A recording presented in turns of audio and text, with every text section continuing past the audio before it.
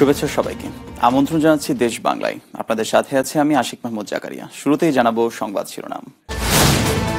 এবং নামেই city corporation, নাগরিক অনেক সুবিধাই পাচ্ছেন না রংপুর সিটির বাসিন্দারা। এবার সমর্থন দেবেন হিসেব নিকেশ করেই বলছেন ভোটাররা।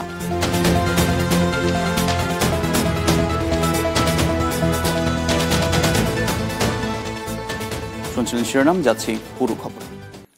রংপুর সিটি কর্পোরেশনের ষোলো, সতেরো, আঠারো নং ওয়ার্ডের বাসিন্দারা দীর্ঘদিন ধরে নাগরিক সুবিধা থেকে বঞ্চিত হলেও কার্যকর উদ্যোগ নেই সংশ্লিষ্ট কর্তৃপক্ষের।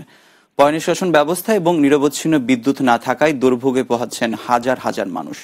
নির্বাচনের সময় প্রতিশ্রুতি দিলেও সমস্যা সমাধানে দেখা মেলে না জনপ্রতিনিধিদের। তাই সিটি এলাকার উন্নয়নে সমবন্টন ও নির্দিষ্ট নীতিমালার প্রণয়নের দাবি স্থানীয় বাসিন্দাদের। প্রতিনিধি এস এম রাফাত হোসেন বাঁধনের পাঠানো তথ্য ছবি নিয়ে রংপুর সিটি নির্বাচনের ধারাবাহিক প্রতিবেদনের আজ দেখুন দ্বিতীয় পর্ব। রংপুর সিটি নির্বাচন যতই ঘনিয়ে আসছে কাউন্সিলর প্রার্থীদের প্রচারণা ততই বাড়ছে। বিরাজমান সমস্যা সমাধানের আশ্বাস দিচ্ছেন ভোটারদের। সিটি কর্পোরেশনের আওতায় আনা হলেও ষোলো সতেরো ও আঠারো নং ওয়ার্ডে উন্নয়নের ছোঁয়া লাগেনি এমন অভিযোগ স্থানীয় বাসিন্দাদের। আঠারো নং ওয়ার্ডের অনেক অনেক সমস্যা যেমন অনেক রাস্তা ড্রেন কালভার্ট কিছুই হয়নি যারা প্রতিশ্রুতি দিয়ে নির্বাচিত হয় তারা নগরবাসীর কোনো সেবা করে না। সমস্যা সমাধানে ভূমিকা পালন করবে এমন প্রার্থীকে নির্বাচন করার কথা জানান ভোটাররা। এবং আমরা অনেক আগ থেকে পৌরসভায় বাস করতেছি। আমার জন্মের আগ থেকেও আর কি। তাই আমরা বঞ্চিত সবকিছুই অযোগ্য কাউন্সিলরের কারণে। এই জন্য এবার আমরা চিন্তা ভাবনা করছি একটা যোগ্য কাউন্সিলর অবশ্যই আর কি চাই।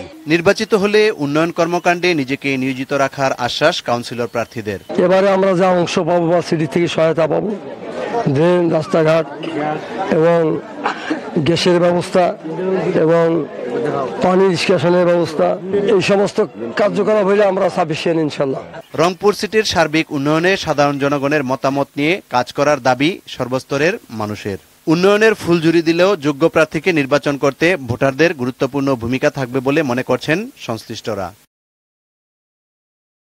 Bangla TV news desk. নামেই সিটি কর্পোরেশন। নাগরিক অনেক সুবিধাই পাচ্ছেন না রংপুর সিটির বাসিন্দারা। এবার সমর্থন দেবেন হিসেব নিকেশ করে বলছেন ভোটাররা। এবং আমন কাটা শেষ না হতে বোরো ধানের বীজতলা তৈরিতে ব্যস্ত গাইবান্ধার কৃষকরা। লক্ষ্যমাত্রা অর্জনে সহায়তা দেবে কৃষি বিভাগ।